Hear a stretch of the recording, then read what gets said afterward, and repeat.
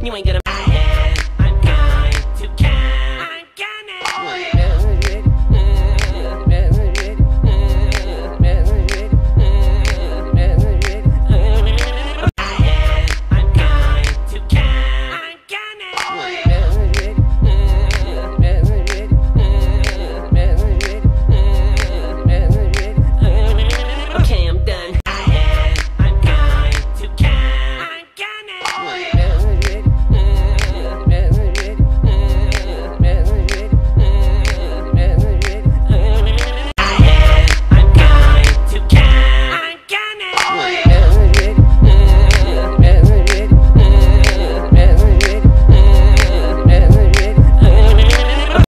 15 10 years ago versus my sister at 15 now.